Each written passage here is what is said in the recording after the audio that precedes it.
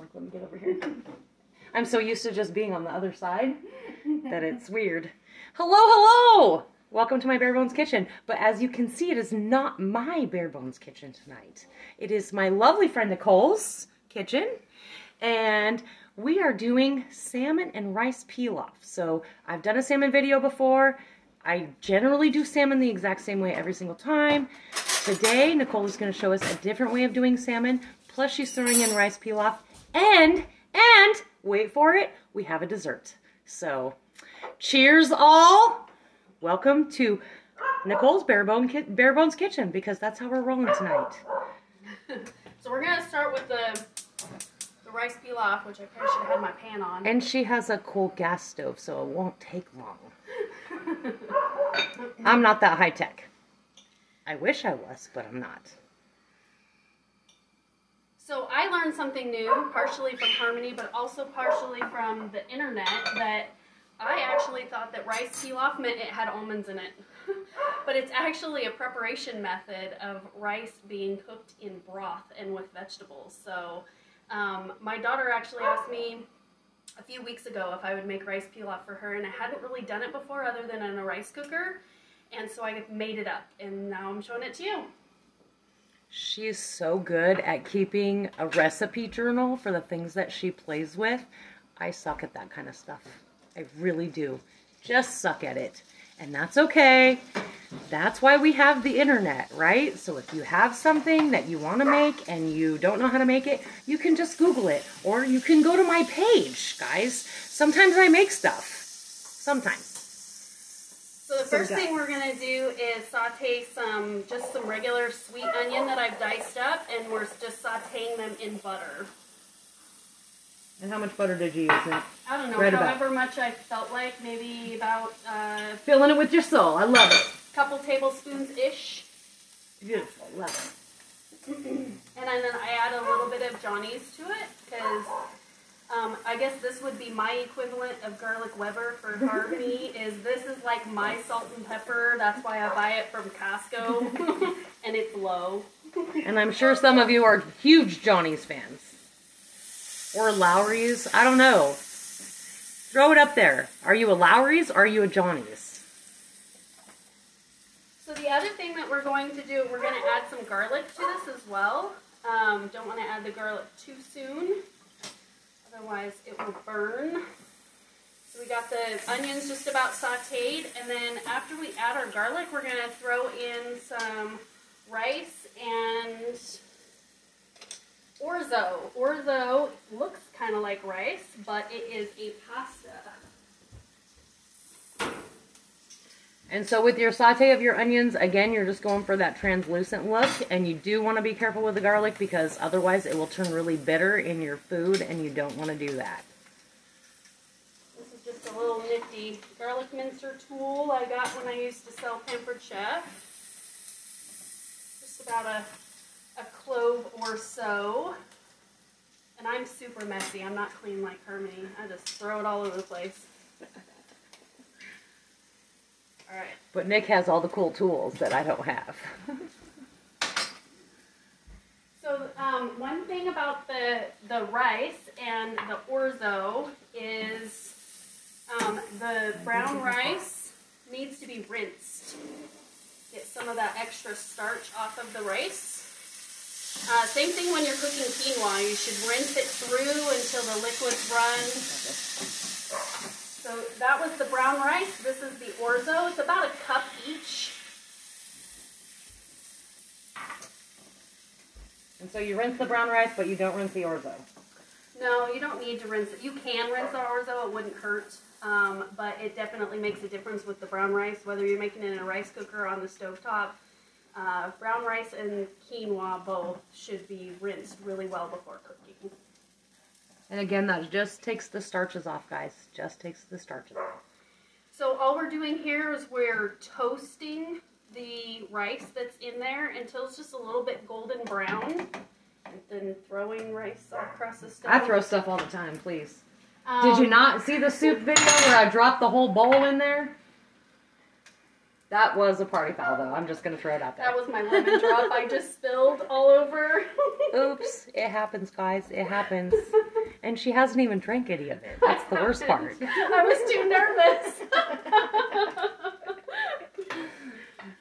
oh, maybe I should have drank it. Maybe, maybe. It's all right though. All right. So our pasta is toasted and turning golden brown, and then this is what really makes it the rice pilaf is cooking it in the broth. So this is about four-ish cups of broth to the two cups of rice and pasta. And you could use all two cups of brown rice or all two cups of the orzo.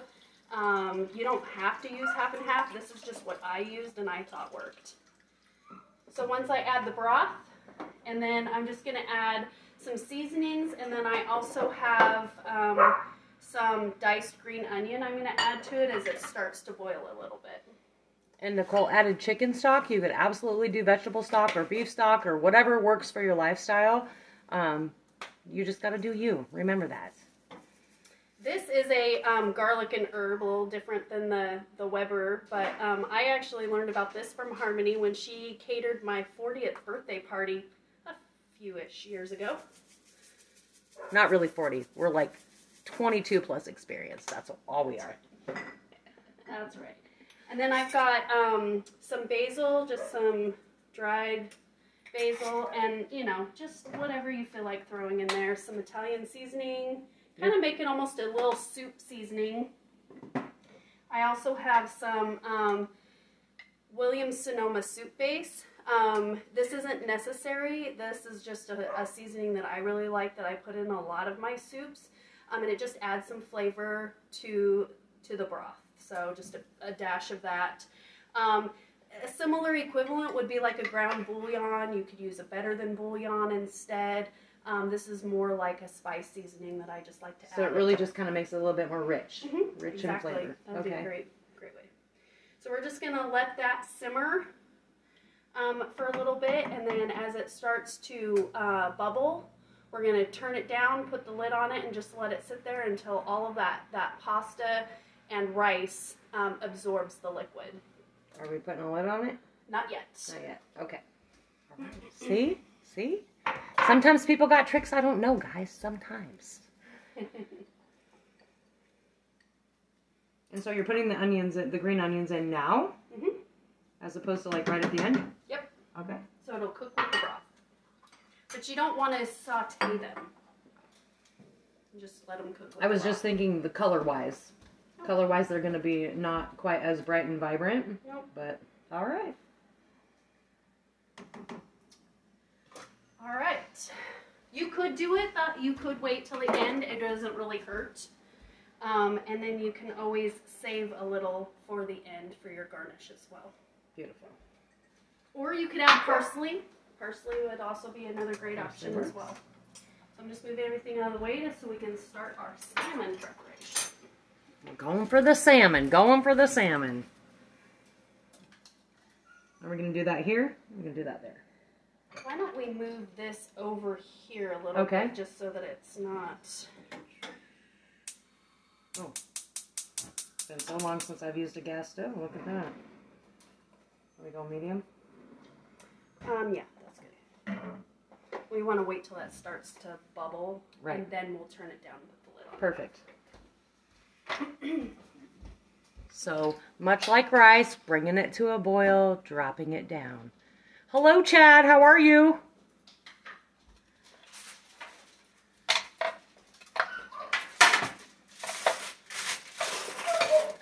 All right, so now we're going to prep our salmon. We've already pulled the pin bones, which Harmony showed you in one of her other videos how to do that. So we went ahead and did that this time. Um, I like to pat my salmon dry and just get all of the extra condensation off of the salmon before I start seasoning it. And then, um, I'm not used to having to explain stuff to people. it's it's a little bit of a difficulty, I agree. So I'm just gonna start with, after I pat it dry, I just add a little bit of salt and pepper and then Worcestershire and then we're gonna layer from there. So this is just a little bit of salt, a little bit of pepper.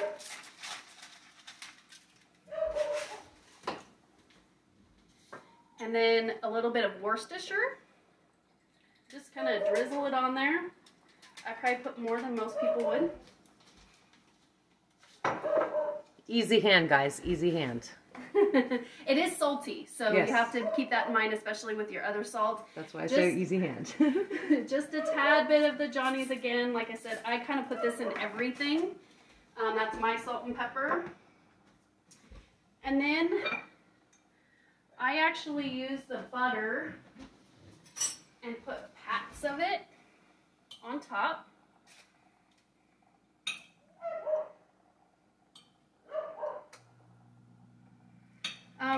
Is probably, I don't know, four tablespoons, Ish. maybe three ish, um, of butter for that fillet. That fillet would feed um, about two people ish, um, depending on how hungry they are and how old they are and whether how much testosterone they have. Can you tell Nicole has a son that's not any longer like eight?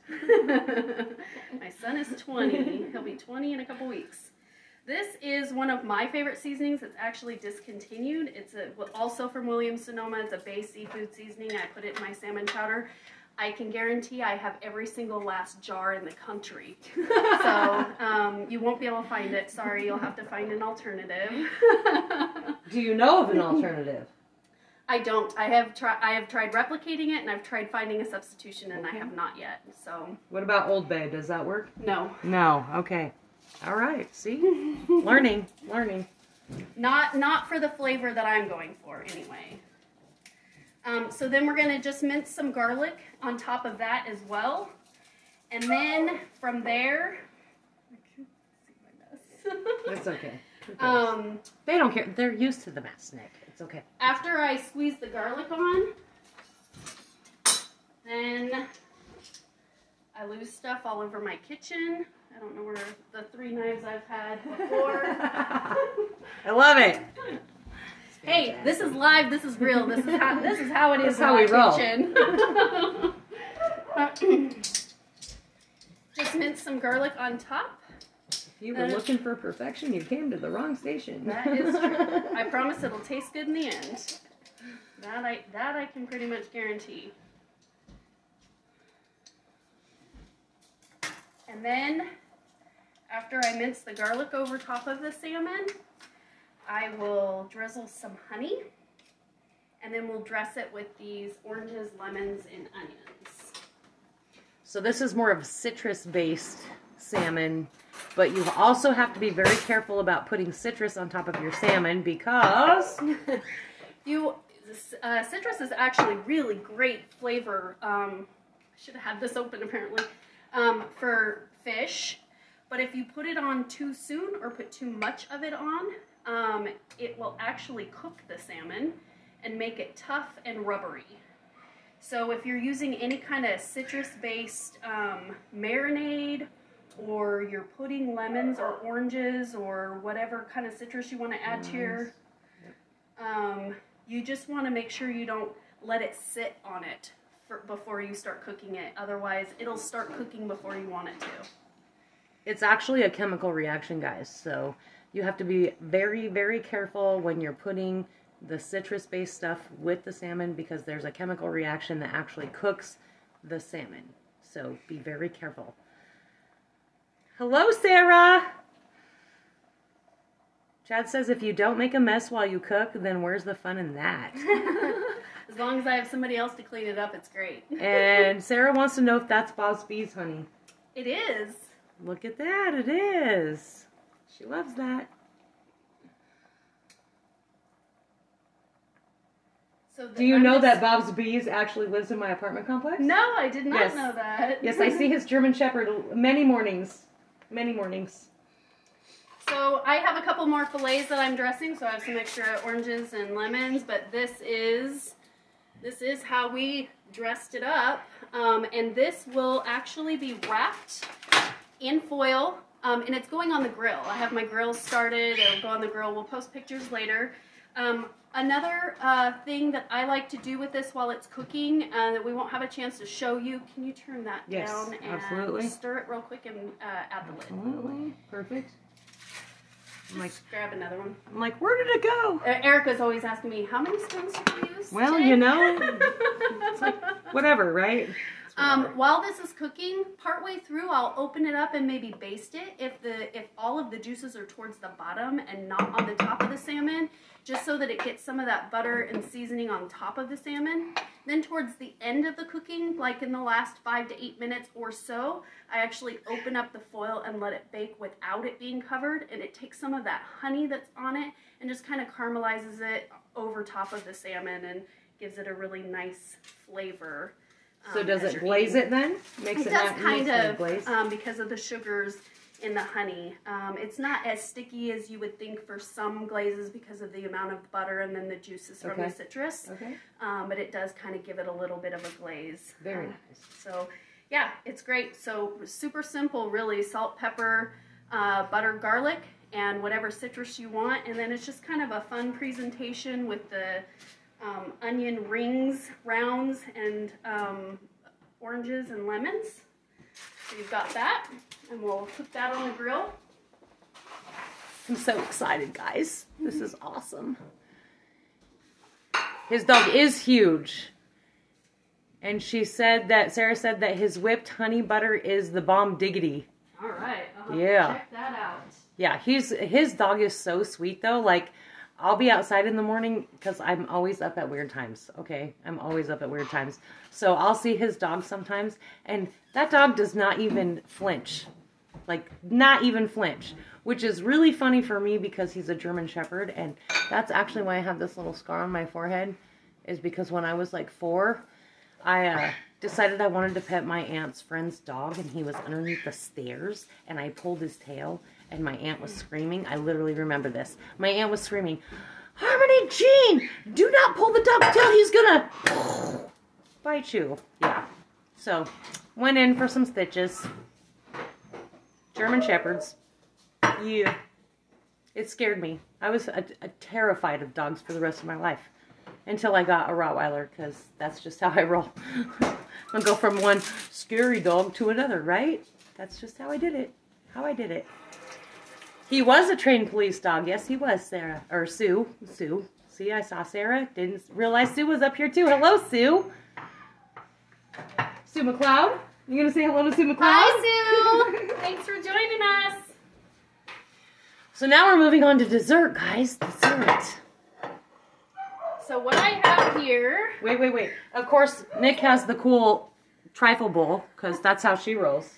I would not have one of those. It would look like a pile of trash because I would do it in a pan. Um, so you can actually be super creative, even if you just have a Pyrex bowl. You could put it in a Pyrex bowl, just any kind of clear kind of clear container. Okay. Um, and you don't have to put it all in one. You can make individual ones. So I have even just used clear plastic cups. Beautiful. Love so it. So I mean, it works. Whatever you have, just use it. That's right. Um, okay, so what I have here is this is just I made a Devil's Food cake mix out of box, um, Betty Crocker. Um, you could use whatever you want. You could bake a cake from scratch if you wanted to. You could buy a cake at the store. You could use brownies instead. I poked holes in it and poured Kahlua over it. She poured Kahlua over it. Did you get that? So we're just gonna layer this with some of these cubes of cake. So she cooled it and then cut it into cubes after pouring the Kahlua over it. Right? Okay. Um, the recipe calls for Recipe. a cup of Kahlua. There's she didn't do a cup. there's a little more than a cup in there. I love being the commentator. That's so much more fun. and this is just um, chocolate pudding. Again, same thing. You could buy pudding already made. You could do use pudding cups. You have pudding cups in your cupboard. Do that. You need to throw together a quick dessert. You can you you have what you need. You could bake uh, bake cook pudding from scratch, or you Who like in the hell cooks pudding from scratch? oh. especially when you're making pie. It's necessary when you're making pie. Apparently she doesn't know I don't make pie. Which Um, is sad because I've known Nick since I was what, 15? Well, I wasn't talking to you. I was talking to your fans. well, oh, You know. you're right. You're right. You're totally right. Right now they're your fans too. Biatch. So you can have a lot of fun. Just um, this is just cake, pudding, and um, whipped cream or Cool Whip. I love that she's so messy, just like me. I'm super messy, especially when I'm nervous. Um, and then you could add some fudge in here and drizzle that over top of the Cool Whip, or you could put some Heath bars in there. You could crush up uh, some your favorite chocolate, or you could um, put chocolate chips in there. I mean, whatever you wanted to throw in there, that sounds good. Fresh fruit. Caramel. Ooh, caramel. That would be fun. Just remember, I mean, with the cake, we have the Kahlua flavor in it, so something that you think would go with that um, Kahlua. And then you can just just keep layering this, and it will be beautiful and quick and easy. And people will be odd, guys, because that's what people do. That's what we as humans do. Like you can make take like the easiest peasiest thing and make it kind of look fancy and everybody's like, "Oh my gosh, that's so pretty." No joke. I'm not even telling stories here. I have absolutely witnessed this 10,000 times. And if you remember a few months ago when I was on the boat, I actually told my lovely friend Wonderful, it's so easy to awe people. And she said, What do you mean? I said, Go look at the food that they're presenting on this awesome trip around Lake Washington. She did. And she goes, Oh my gosh, all of that is on your channel. I go, I know. I know this, man. Because we're just easy to please. You put it on a plate with some green onions and make it look pretty. People are like, Oh, it's crazy. It's true. It is. Um, when I used to sell Pampered Chef, and when I did that, they told us that 80% of people eat with their eyes first. Absolutely. So they decide whether they like it or not when they first see it, and that's that's part of presentation is a lot of eating. And so you could have fun with this. I do have lots of tools I could use. I could pipe this on, make a fun design. Um, on top of the Cool Whip, Cool Whip is so much fun, or whipped cream. Just because it's white, you can add any kind of like powder. You could do cocoa powder, you could do uh, espresso powder, you could um, put some chocolate curls on top, and it would look really pretty. Um, you could just um, take chocolate chips and crush them with a hammer and sprinkle them over top if that's what all you have. Um, and it still would look super pretty and it would look fancy and look like you spent a lot of money on it, even though you didn't. and a lot of hours. Yeah. Look, dessert's done. Boom. Just like that. I like Cool Whip. Cool Whip's the And friend. That's it. We will post pictures of everything at the end. We're gonna throw this salmon on the grill. And just for good measure, I also made dinner rolls from scratch because I needed Harmony and Chad to try them. Because, of course, you know, Chad's coming with. He'll be here any minute. And that's just how we roll here at Bare Bones Kitchen. Because that's what happens when you're a bachelor and you know somebody that cooks. And lucky for him, he knows somebody that cooks that also knows somebody that cooks. So thank you, Nicole, for joining us in your Bare Bones Kitchen. Look at that beautiful dessert, you guys. How pretty. See? I Just did that less easily amused. Easily amused, guys. Easily amused. Sarah says, Yum, looks so delicious, and Sarah should try them too. All right, guys. Love you. See you on what day are we on? We're going on Wednesday. Thank you, Nicole. Make sure that you share this video. Um, I do not have the giveaway tonight, so it's going to have to be Wednesday. And it may be at Sarah's house. I don't know yet. Sarah, I, I haven't read Sarah's message yet, so it may be at Sarah's house. But I may be doing the giveaway at Sarah's house. And yeah, see you on Wednesday.